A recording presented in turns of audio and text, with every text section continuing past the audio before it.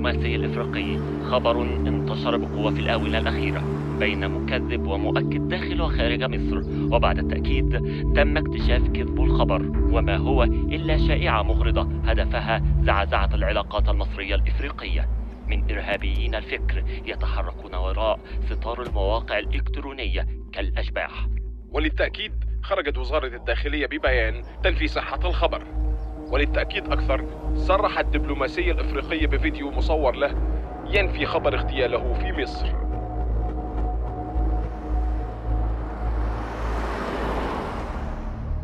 Saudi national who has been killed in an attack uh, that was perpetrated on the consulate. اتفائلوا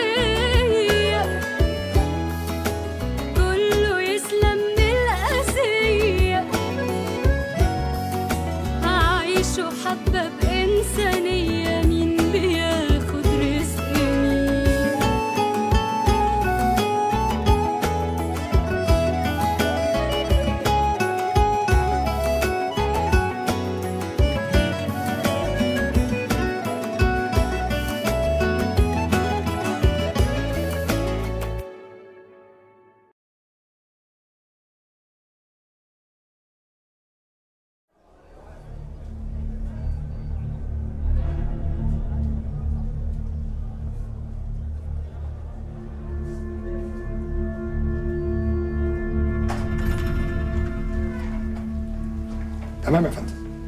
أنا مش هسلم العملية دي لإدارة تانية يا عمر بيه. كلامي واضح. أوامر معاليك. الموضوع ده يخلص. مفهوم يا فندم. ولما هو مفهوم إيه اللي بيحصل لنا ده؟ أنا دلوقتي بس اتأكدت إن أنا كنت غلطان إني جبتك الإدارة هنا اللي تشوفه عمر بيه. اللي أنا شايفه واللي الناس كلها شايفاه إن ثلاث عمليات تموا في شهر واحد. حضرتك بقى شايف إيه؟ يا فندم اللي بيحصل على الأرض ده مش شغل عادي. ده أكيد تشكيل دولي. يعني إيه؟ نستورد لهم ظباط من ال FBI عشان يمسكوهم؟ جماعة محمود. أنت مدرك خطورة الوضع يا عمر؟ واضح إنها عمليات غير عادية. بس هتخلص يا فندم. وعد سعادتك. طيب والمرة دي زي المرتين اللي فاتوا برضو؟ أيوه يا فندم. نزل خبر قبل التنفيذ. كأن العملية حصلت بالظبط. طبعا موقع وهمي بس ولاد الرفضي بي link وه مع الموقع الرئيسي تبعهم. اللي إحنا قافلينه عم نور. توضح وتتكلم كويس يا اكرامي أنا ناقصاك أنت كمان. أنا بتكلم كويس يا بيه.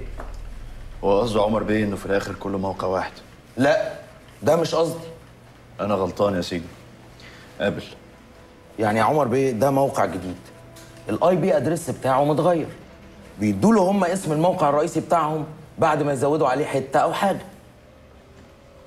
يعني ال R E 30 ممكن بعد كده تبقى 31 و32 تمام سعادتك. طب خلاص. اتقفل على كل الأرقام دي. ما ينفعش يا عمر بيه. ده كلام مش applied لأن لا الأرقام هتخلص ولا الحروف هتخلص. تباديل وتوافيق. المشكلة مش فيهم وبس. أنا عارف يا عمر بيه إن إحنا مقصرين. بس إحنا كنا حكاية مقصرين دي حاجة مفروغ منها. لكن أنا أقصد حاجة تانية. حاجة إيه يا عمر؟ الناس يا فندم الناس بيشيروا أخبار على إنها حقيقة من غير ما يتأكدوا منها. نفي الموضوع مش هيفيد. اللي يفيد بجد إن إحنا نمنعه من الأول. مفيش قدامنا غير كده. الموضوع ده مش هيستمر زي ما بدأ. هيتغير خالص. يبقى كده في هدف تاني ورا العمليات دي. آه طبعا. هدف خطير وخبيث. اليأس يا عمر. اليأس أكبر بكتير. من الخوف من الإرهاب.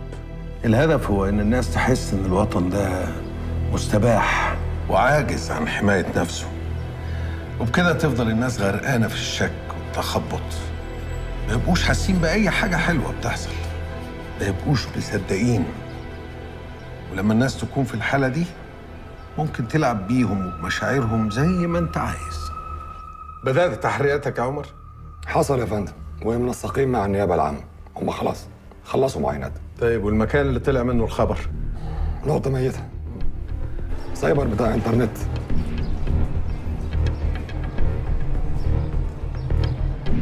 بس خبير ال IT اللي معايا بيقول لي إن ده ممكن ما يكونش له علاقة بالمكان اللي خرج منه الخبر. هم بس بيحاولوا يلبسوه في الموضوع. عموما إحنا كلمنا سيادة النائب العام في حظر النشر. يا ريت يا فندم. إحنا علينا ضغوط كتير قوي وإحنا لسه بنجمع خيوط. إحنا وضعنا وحش جدا مع الإعلام. بس هنعمل إيه؟ مش معقول نقول لهم ما تتكلموش خالص يعني. ما ينفعش. والله أغلبهم بيقدروا الموقف بس في مجموعة منهم يعني بيبقوا متحمسين زيادة. طيب اتصرف يا عمر. بس لازم تبقى عارف إن هم بيقوموا بشغلهم. اللي فاضل إن إحنا بقى نقوم بشغلنا.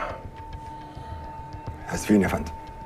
آه بالنسبة للموضوع اللي أنت كلمتني عليه أنا مديك حرية التصرف كاملة. بس انت المسؤول.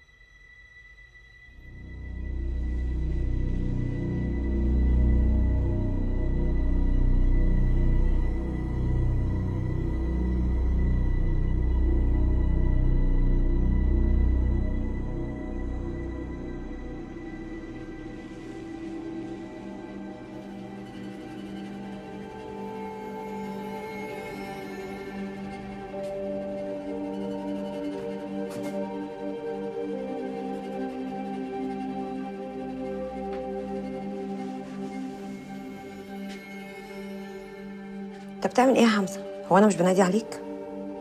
مفيش يا حبيبتي بشحن التليفون. كل شوية يكتب لي software update ويهنج.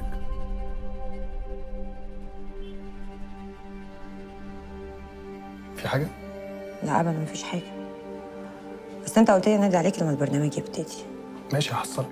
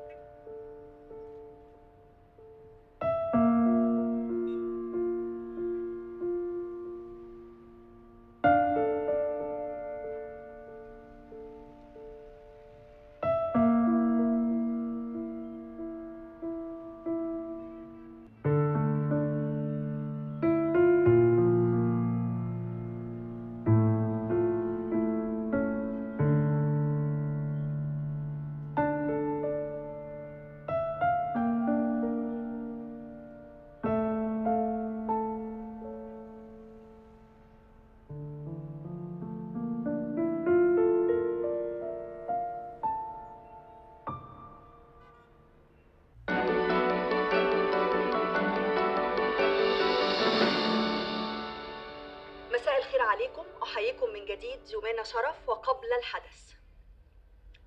كده كتير قوي. مع احترامنا الكامل وتقديرنا للجهاز الأمن. بس اللي بيحصل ده مش بس حاجة تزعل بصراحة حاجة تكسف. وأنا آسفة طبعا للوصف ده بس ما عنديش وصف تاني. تخيل إن حد جاي بيقولك أنا هسرق بيتك بكرة الساعة سبعة.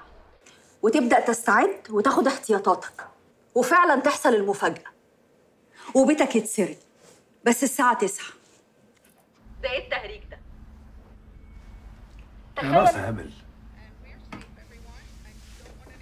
طب مش تسأل بني آدم اللي قاعد جنبك؟ ولا أنت مش شايفني؟ الصراحة بقى إن أنا شايفك وشايفك كويس قوي بس الحقيقة بقى إن أنا مش قادر على المود اللي أنت فيه ده خالص. وبعدين يا ست أنا آسف. ولا تزعلي. هو انت رايح فين؟ خارج. يعني إيه خارج؟ خارج ليه؟ هو إيه اللي ليه؟ مخنوق يا داليا. عجبتك صراحتي؟ رايح تقابل حد. حمزة رد عليا. يور بروميس أنا جاية معاك تلم صحيكي لغاية دلوقتي. هنام بعد شوية لا هتخشي تنامي دلوقتي. اتفضلي. داليا بالراحة شوية على البنت. اتفضلي يلا. مش عايزة الامانات حبيبتي مش هينفع أخدك النهارده عشان معيش عربية. خليها يوم تاني. بكرة؟ بكرة.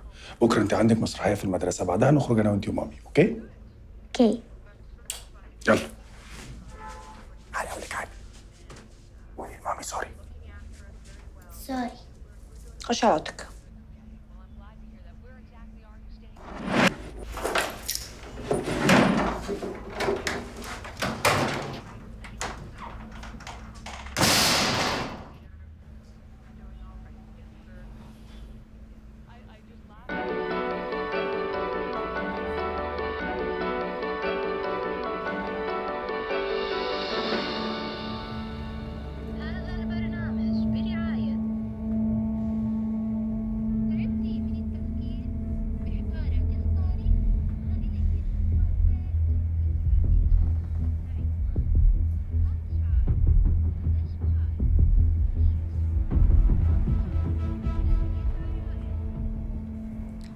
ساشا قالت لي.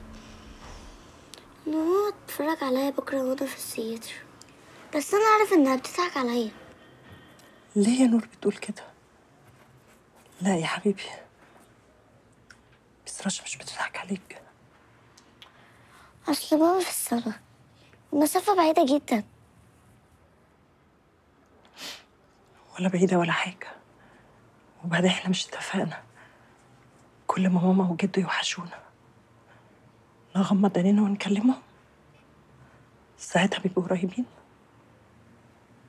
انت مش هتيجي معايا؟ غمضي عينك هاجي معاك.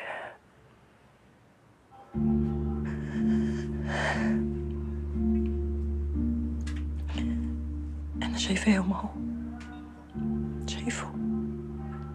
ماما جدو أنا عندي بكره مسرحية وكلاس كله مشترك فيها.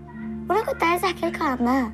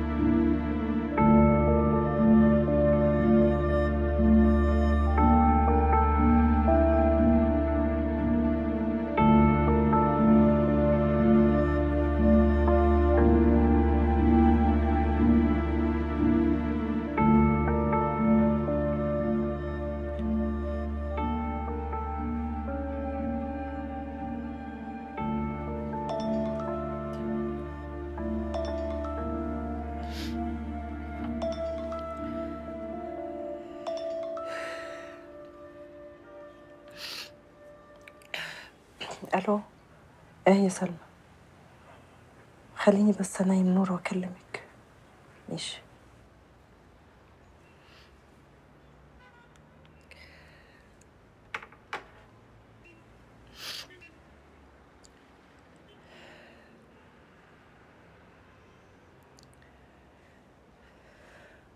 على فكرة مفيش أي إهانة يا جمانة. الإهانة اللي بجد اللي أنت بتعمليه معانا دلوقتي. وأنت عارفة كويس جدا إن إحنا على الهوا. يا مدام جمانة والله عادي جدا. حضرتك ممكن تقولي إنها كانت مقدمة ولا بد منها علشان أحداث النهارده. وبعدين وبعدين الداخلية دي تعليمات ان إحنا نخرس ونتكلم في أي هريد ما أنا عارف إن في مشكلة هتحصل النهارده. وعلشان كده أنا جيت المشكلة دلوقتي عندي أنا يا جماعة. أنا خلصت ال ad break ودلوقتي قربت أخلص الأوتو بلاي بتاع بروموهات كل البرامج. هنعمل إيه؟ okay. أنا هكمل. بس هتكلم في اغتيال الدبلوماسي برضه. ما هو مش موضوع عندي يا جمانه الناس قالت إن قرار حظر النشر هيطلع الصبح. نعمل ليه معاهم؟ والله هو ده اللي عندي. أستاذ الأستاذ نضال. أيوه يا نضال. أنت لحقت تعرف؟ طبعا الأستاذ شادي كلمك. يعني إيه نضال محدش كلمك؟ ده رأيك أنت يعني؟ وأنا كده هيبقى منظري إيه قدام الناس؟ أنت شايف إنه عادي؟ طبعا. وتأخير طلوعك على الهوا دلوقتي هيكون ضدك مش لصالحك. المهنية مش لازم تكون بالهشاشة دي. مش لدرجة إنك تعلقيها على موقف أو حلقة.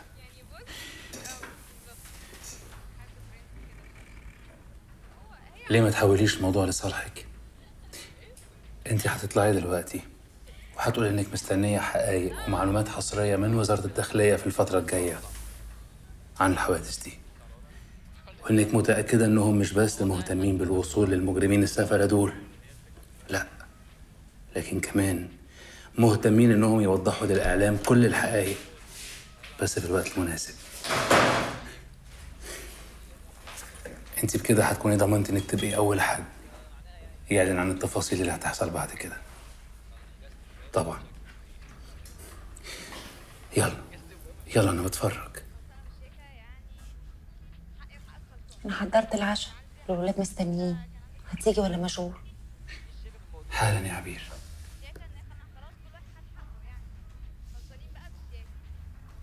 ألو.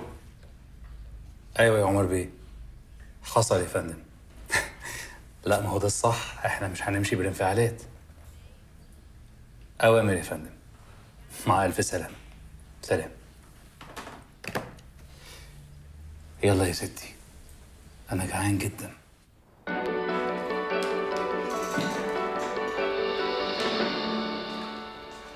طبعا اللي قلته قبل الفاصل كان مقدمة للحلقة اللي هنعملها إن شاء الله مع مسؤولين من وزارة الداخلية عشان نعرف منهم كل التفاصيل.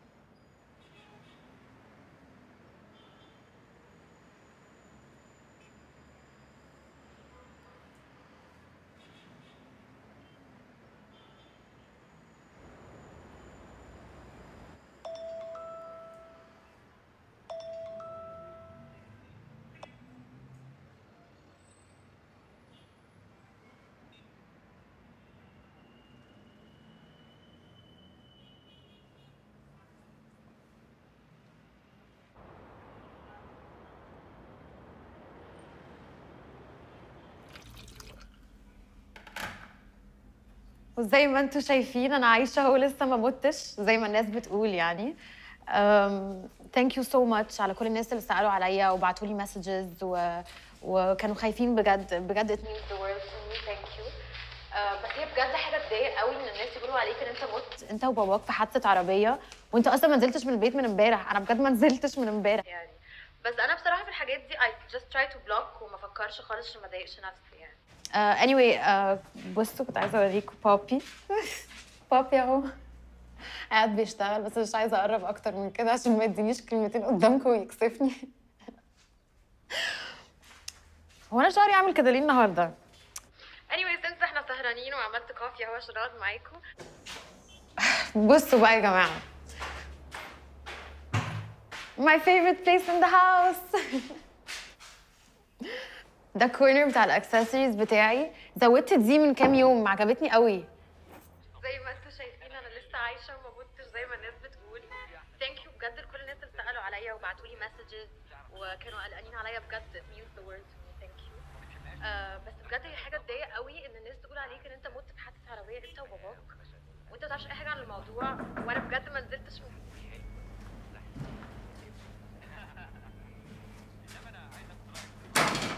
أهلا. ازيك يا حبيبي. عامل إيه؟ وحشتني. الحمد لله. وانت قوي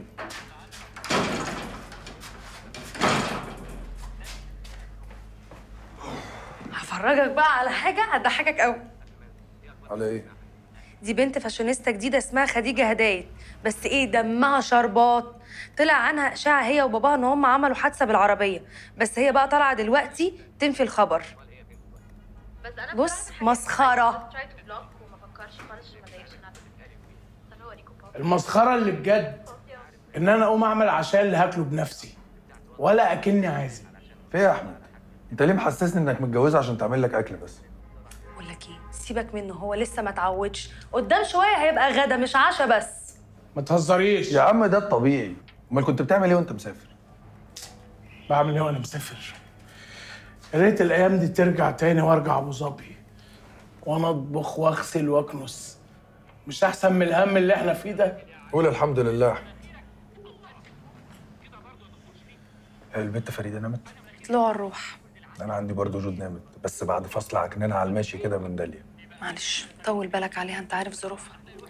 طيب أنا هقوم أبص بقى على تسامح عشان وحشني. هو نام وغالبا أبوك كمان نام. ليه؟ فجأة كده كلنا بقينا ننام بدري؟ عايشين في السويد إحنا؟ لا أصل الوقت اتأخر برضه. آه، أنا آسف أنا آسف يا أحمد إن أنا جيت بيت أبويا متأخر. قول لي بس مالك؟ مالك؟ مخنوق يا سلمى. أنا هخش أبص على سامح. وحشني ابن اللذينه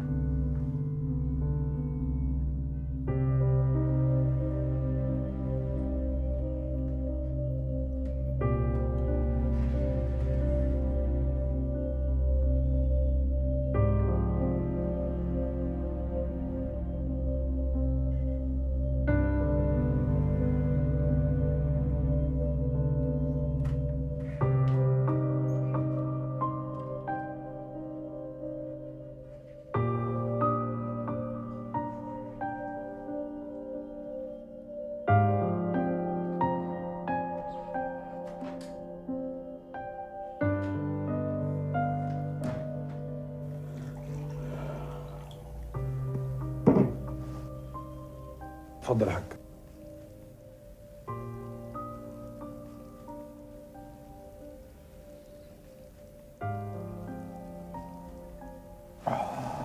ألف هنا. لسه ما ابتدتش تتعود. آه يا حاج ما تعودتش ومش عارف. مع إني بحاول والله بس مش قادر. أنا عارف إنكم خايفين عليا وأنا كمان خايف على فكرة. خايف أبعد عنكم. بس أنا والله مش قادر أكمل. متخانق مع داليا؟ ما أنا على طول متخانق مع ده اللي حاج إيه الجديد يعني؟ بقيت مش عارف بقى هي معذورة ولا بتستمتع بالحالة اللي بقينا فيها دي. زي ما يكون تأنيب الضمير هيرجع اللي راح. انت انت حاسس بإيه؟ عايز تعمل إيه؟ أنا حاسس إن أنا عايز أشتغل. أشتغل اللي بحبه مش اللي بعمله دلوقتي. عندك استعداد تدفع الثمن مين قال لك يا حاج إن أنا ما بدفعوش دلوقتي؟ أنا بقيت حاسس إن أي حاجة بتحصل أنا المسؤول عنها. ما تستعجلش يا حمزة. اللي فات كان صعب واللي جاي تكراره أصعب بكتير.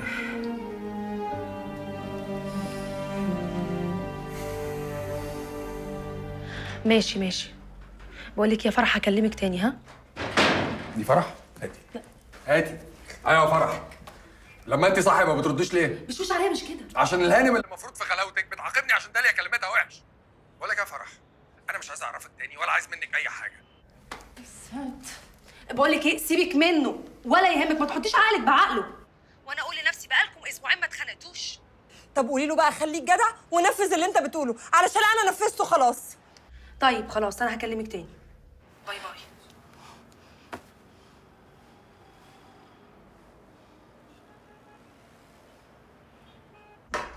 كانت بتقول لك إيه؟ أنت هتستعبط؟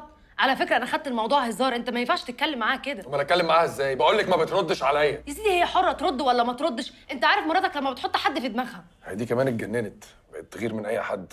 دي بتغير من فرح يا سلمى. بصراحة معاها حق. أنت هتستعبطي أنت كمان. يا حمزة. أنا أختك. ما ينفعش وأنت متضايق تطلع غلك في اللي بيحبوك. دي فرح لازم تراضيها. عندك حق. المفروض بقى اللي كان ياخد الطلعة دي لقفا جوزك. لا أنا ما أسمحلكش بقى تتكلم عنه كده. هو أي نعم دمه تقيل شوية بس برضه ما تقولش عليه كده. شوية. بقول لك إيه البنت اللي أنت كنت بتتفرجي على آه دي موزه جامدة قوي. موزه إيه يا سلمى؟ موزه إيه؟ مش البنت دي بنت أحمد هدايت؟ أحمد هدايد مين؟ أحمد هدايت مين؟ آه الصحفي ده. الصحفي ده. خليكي في جوزك. ده قمر وعسل. تصبح على خير يا سلمى. انت من أهلي. ابقى راضي فرح ها؟